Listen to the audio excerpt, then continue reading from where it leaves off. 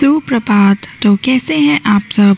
तो चलिए, आज हम गणित का बारवा पाठ पढ़ते हैं, जिसका विषय है लेना और देना। किनारी बाज़ार में मोती बेचती है। वे दस मोतियों से बनी एक माला बेचती है। साथ ही खुले कुछ मोती भी बेचती है। रज़िया को बारह मोती चाहिए। इसलिए किनारी ने उसे एक पूरी माला और दो मोती दिए। अब पता करो कि और बच्चों को कितनी माला और कितने मोती अलग से मिले। तो आपको ये एक तालिका दिख रही है। इस तालिका में बच्चों के नाम, मोती दे रखे हैं। आपको ये बताना है कि उन मोती में से कितनी मोतियों की माला बच्चे को मिलेगी और कितने खुले मोती बच्चों को मिलेंगे। जैसे रज़िया ने बारह मोती मांगे थे तो उसको एक पूरी माला मिली, जिसमें दस मोतियाँ थे और दो मोती खुले से मिले। ऐसे ही बताइए, रीमा को कितनी दस मोतियों की माला मिलेगी और कितने खुले मोती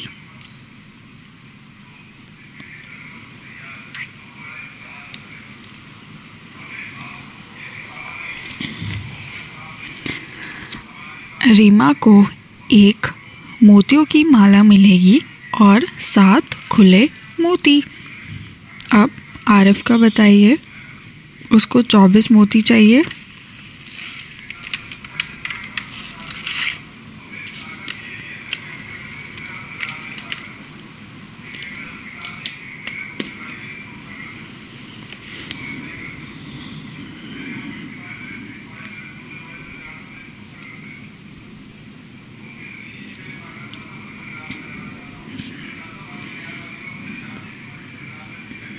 उसको दो मोतियों की माला चाहिए, जिस हर एक मोती में दस दस हो और चार खुले मोती।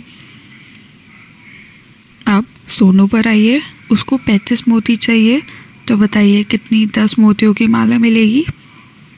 और कितने खुले मोती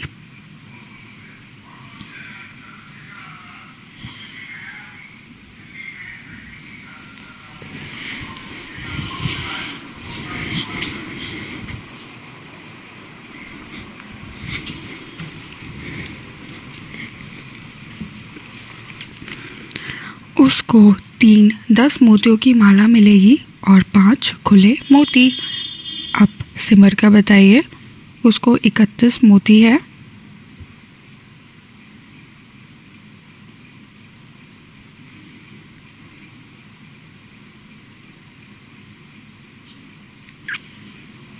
सिमर को भी तीन दस मोतियों की माला मिलेगी और एक खुले मोती।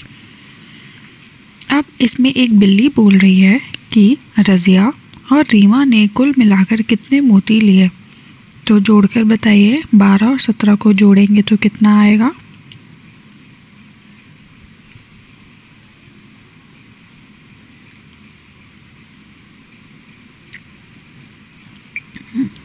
उनतीस आएगा।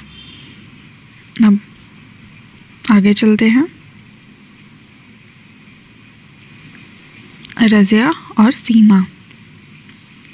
एक बिल्ली बोल रही है हम्म रज़िया के पास एक माला और दो मोती हैं। रीमा के पास एक माला और सात मोती है। तो अब ये बिल्लियाँ हमें जोड़ना सिखा रही है। देखिए कैसे जोड़ रही हैं। फिर दूसरी बिल्ली बोलती है, एकदम ठीक, तुम उसे ऐसे भी लिख सकते हो, बारह और सात। सबसे पहले हम खुले मोतियों को एक साथ लेकर उन्हें गिन लेते हैं। तो खुले मोतियाँ, ये जो गुलाबी वाले घेरों में है, ये कितनी हुई? नौ। तो यहाँ पर दूसरी बिल्ली क्या लिखती है? यहाँ नौ मोती है। इसलिए मैं इसे खाने में नौ लिखती हूँ। अब आगे बढ़िए। चलो सभी मालाओं को इकट्ठा करके एक साथ गिनते हैं। तो उसने एक मालाओं को इकट्ठा करा। अब कितनी मालाएँ आई? जो गुलाबी घेरे में आपको दिख रही हैं। वे दो आई। तो तभी दूसरी बिल्ली बोलती है, यहाँ दो मालाएँ हैं, इसलिए मैं इसे खाने में दो लिख देती हूँ। अब बिल्ली क्या बोलती है? मैं समझ गई। रजिया और रीमा के पास कुल मिलाकर दो मालाएँ और नौ मोती हैं। यह सही है। रजिया और रीमा के पास कुल मिलाकर उनतीस मोती है।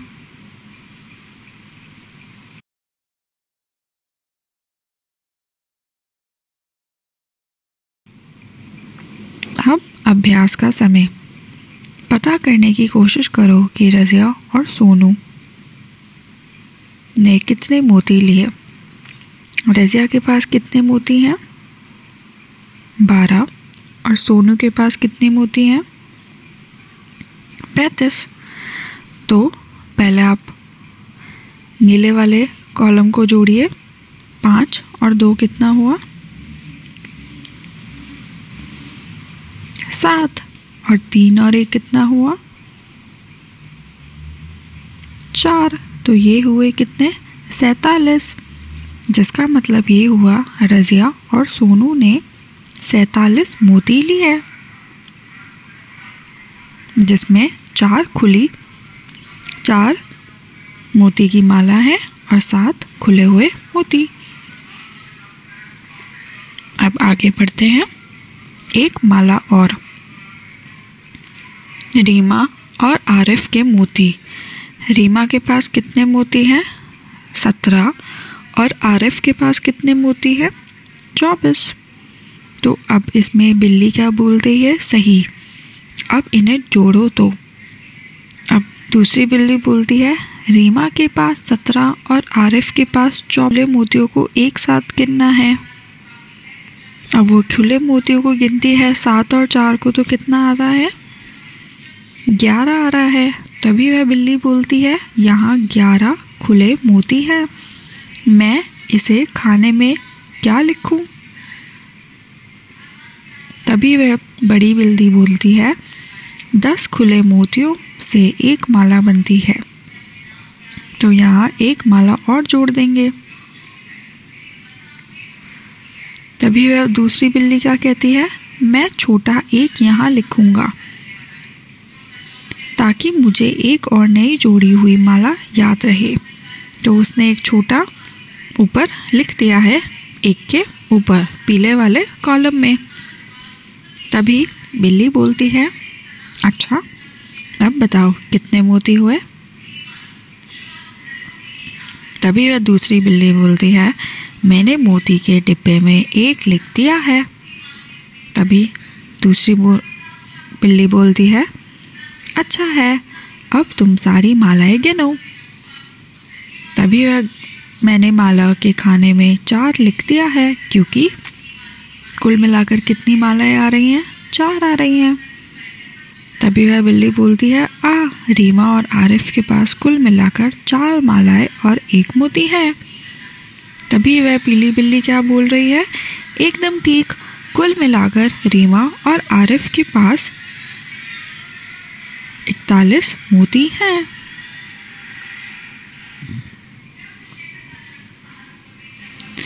अब आगे बढ़ते हैं। तभी यहाँ चीटी बोलती है, मैं दूसरे तरीके से इसे बहुत जल्दी कर सकती हूँ। बहुत आसान है। अगर आरिफ रीमा को तीन मोती देता है तो रीमा के पास पीस हो जाएँगे। आरिफ के पास इक्कीस रह जाएँगे और फिर बीस और इक्कीस को जोड़ें तो कितना हो जाएगा? इकतालीस हुए। क्या तुम इसे और किसी और तरीके से कर सकते हो? आप ये सोचेगा और फिर हमें बताइएगा। अब अभ्यास कार्य करते हैं, लिखकर जोड़ो और बिना लिखे भी। पता करो, कुल मिलाकर यहाँ कितने मोती हैं। तो आपको यहाँ पर जोड़ और कटाव करना है। जैसे रीमा के पास सत्रह मोती हैं और सोनू के पास कितने? पैंतीस हैं। तो यहाँ कुल मिलाकर कितने मोती हुए? जोड़िए सात और पाँच को जोड़िए कितना आएगा?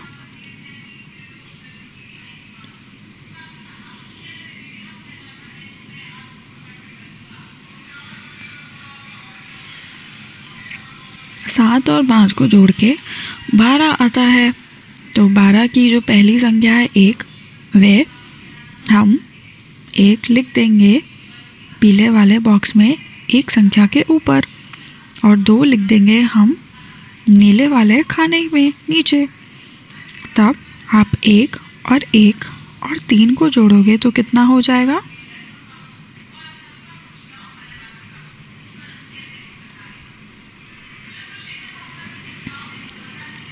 पाँच हो जाएगा। तो कुल मिलाकर ये कितने हुए? बावन मोती हुए। अब आगे देखिए। आरिफ के पास चौबीस मोती है और रजिया के पास बारह। चार और दो को जोड़ेंगे तो कितना हुआ?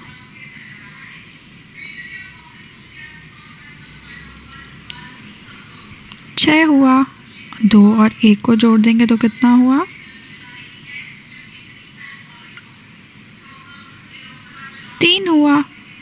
तो ये कुल मिलाकर कितने मोती हुए? छत्तीस मोती हैं। अब दूसरा प्रश्न देखिए, कितने ज़्यादा मोती हैं? सोनू के पास पैंतीस मोती है और आरिफ के पास चौबीस। तो प्रश्न ये बनता है कि सोनू के पास आरिफ से कितने ज़्यादा मोती हैं? तो हम क्या करेंगे? घटाव करेंगे। पाँच में से चार गए, कितना बचा?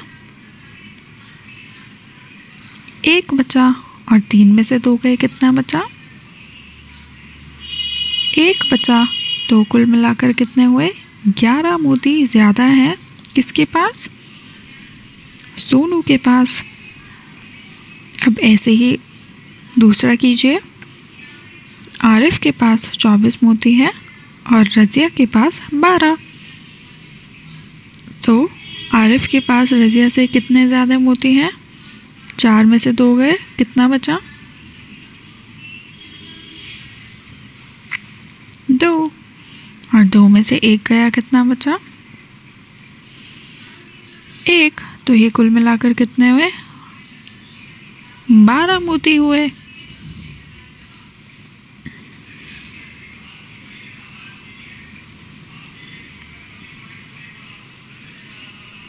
अब आगे चलते हैं। सिमर के पास रीमा से कितने मोती ज़्यादा हैं? सिमर के पास कितने मोती हैं? इकतीस। और रीमा के पास कितने मोती हैं? सत्रह। अब तभी पीली बिल्ली बोलती है, पर हम एक मोती में से सात मोती कैसे निकाल सकते हैं? तभी वह नारंगी बिल्ली बोलती है, सिमर के पास इकतीस मोती है, रीमा के पास सत्रह मोती है। तभी पीली बिल्ली बोलती है, हम सिमर की एक माला खोल देते हैं। तो नारंगी बिल्ली बोलती है अच्छा तो अब सिमर के पास दो मालाएँ और ग्यारह मोती हो जाएँगे। तभी वह नारंगी बिल्ली बोलती है, याद रखने के लिए मैं तीन काट दूँगी और माला वाले खाने में एक छोटा, दो लिख दूँगी, क्योंकि हमने वहाँ से एक संख्या ले ली है। और मोती के खाने में से एक छोटा सा एक लिख दो, ताकि याद रहे कि कुल ग्यारह मोती है। अब ये आसान है। तुम ग्यारह मोतियों में से सात मोती निकाल सकते हो। तो ग्यारह में से सात गया, कितना बचा? चार बचा। तभी वह नारंगी बिल्ली क्या बोलती है? हाँ मैंने मोतियों के खाने में चार लिख दिया है। अरे, ये तो बहुत जल्दी हो गया। अब दो मालाएँ में से एक माला निकाल लो। जिसका मतलब ये हुआ, दो संख्या में से अगर आप एक संख्या घटा देंगे तो कितना बचा? एक बचा। तभी नारंगी बिल्ली बोलती है, मैंने माला वाले खाने में एक लिख दिया है। तभी पीली बिल्ली बोलती है, सिमर के पास रीमा से एक माला और चार मोती ज़्यादा है। और नारंगी बिल्ली बोलती है, ठीक, सिमर के पास रीमा से चौदह मोती ज़्यादा है।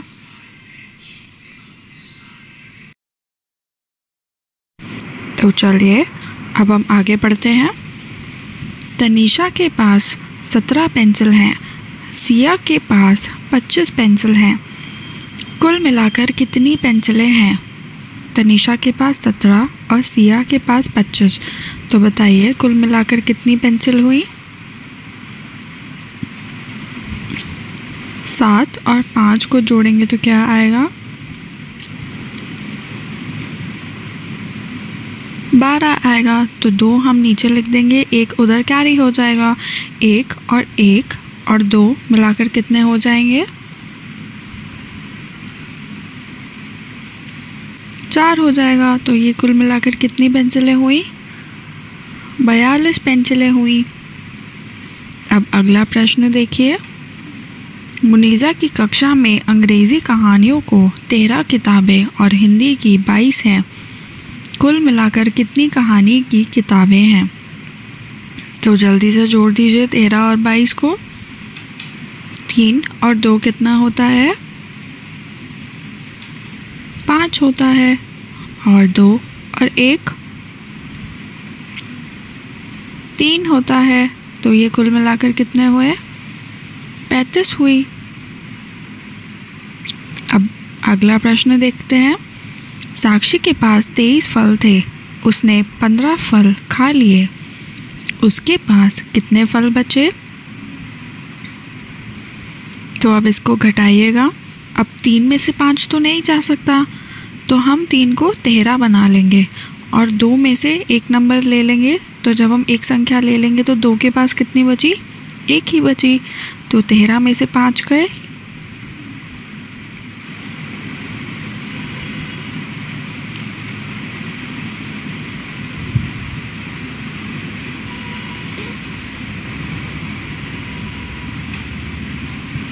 आठ बचा और एक में से एक गया शून्य बचा। तो कितने फल बचे? आठ फल बचे। अब आगे बढ़ते हैं। दलजीत के पास पैंतीस कंचे हैं। अरविंद के पास पच्चीस कंचे हैं। उनके पास कुल कितने कंचे हैं? पैंतीस और पच्चीस को जोड़िए तो कितना होगा? पाँच और पाँच को जोड़ देंगे तो हो जाएगा दस। तीन और एक होता है चार चार और दो को जोड़ेंगे तो कितना हो जाएगा?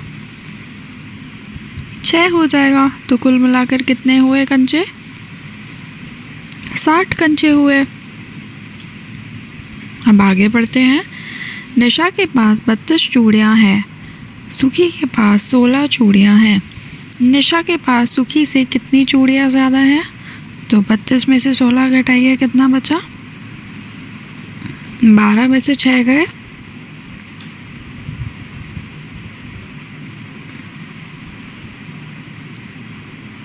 छः बचा और दो में से एक गया। एक बचा। तो कितने हुए चूड़ियाँ? सोलह चूड़ियाँ हुई। अब अगले पन्ने पर देखते हैं। वेंकटेश की कैंटीन। बिल बनाने में वेंकटेश की मदद करो। तो आपको बिल बनाना है डोसा और उत्पम। डोसा कितने रुपए का है? तेईस। और उत्पम कितने रुपए का है? अट्ठाईस। तो आप जल्दी से जोड़ दीजिए। आठ और तीन कितना होता है?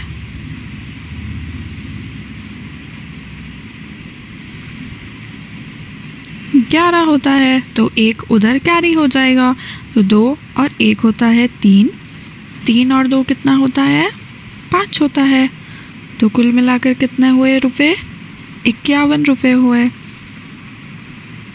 अब अगला देखिए। इडली है पंद्रह रुपये की और कॉफ़ी है आठ रुपये की। तो बताइए, जोड़िए इसको कितना होगा? आठ और पाँच?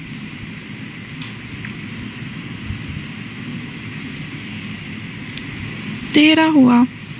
तो एक कैरी हो जाएगा और एक और एक कितना हुआ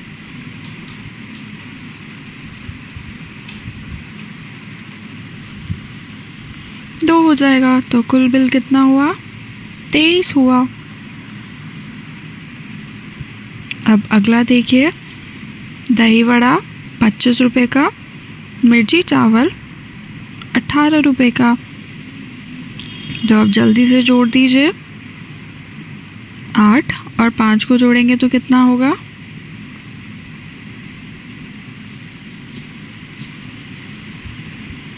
तेरह होगा। तो तीन हम नीचे लिख देंगे, एक हम ऊपर लिख देंगे तो दो, और एक को जोड़ेंगे तो तीन तीन और एक को जोड़ेंगे तो चार। तो ये कुल मिलाकर कितने रुपए हुए? तैतालीस रुपये हुए। ऐसे ही अगला देखिए, सूप है सत्ताईस रुपये का और नूडल्स है पंद्रह रुपये की।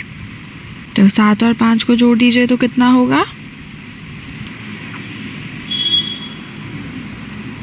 बारह होगा।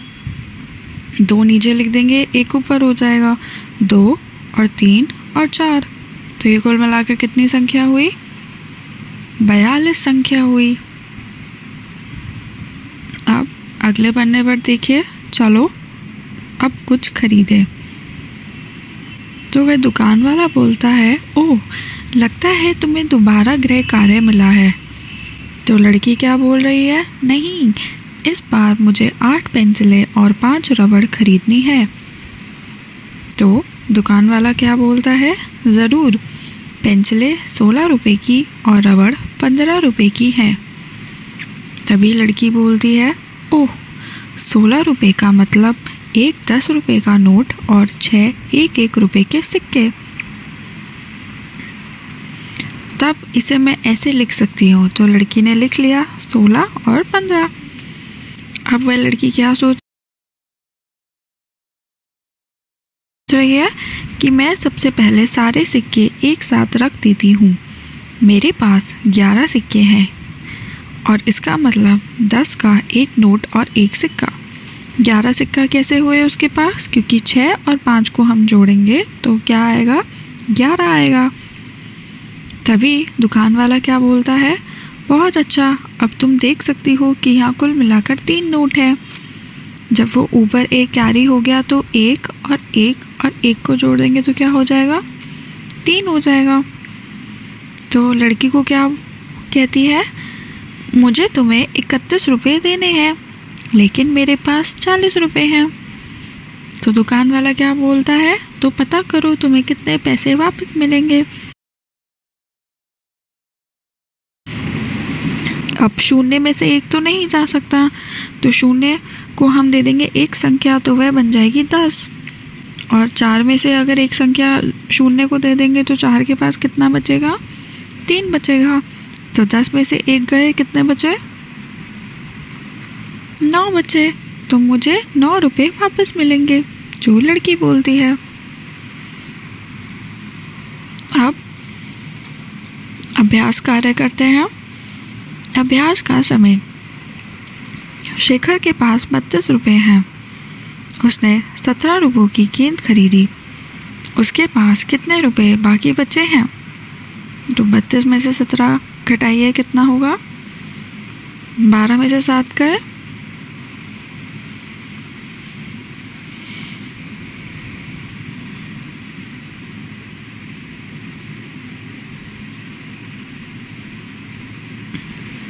पाँच बचे और दो में से क्या? एक बचा तो पंद्रह रुपये बचे।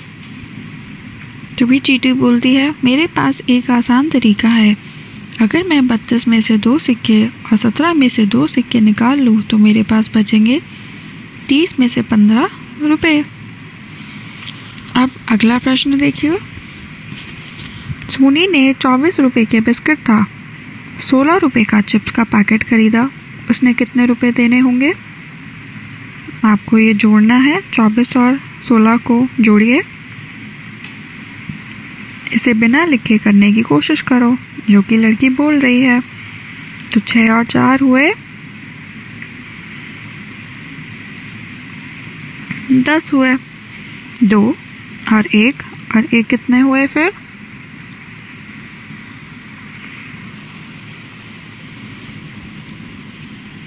चालीस हुए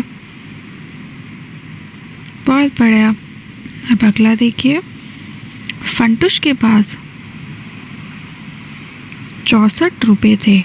मेले में उसने उनतालीस रुपये खर्च कर दिए। उसके पास अब कितने रुपए बचे? चार में से नौ तो हम नहीं घटा सकते। तो हम एक संख्या चार को दे देंगे। तो हो जाएगी चौदह। तो चौदह में से नौ गए, कितने बचे?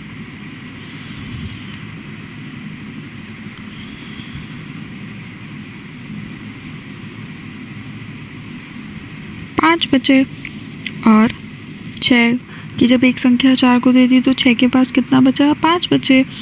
पाँच में से तीन गए। दो बचे। तो कुल मिलाकर कितने रुपए बचे? पच्चीस। आशा है कि अब आपको जोड़ और घटाव एकदम अच्छे से आ गया होगा। धन्यवाद।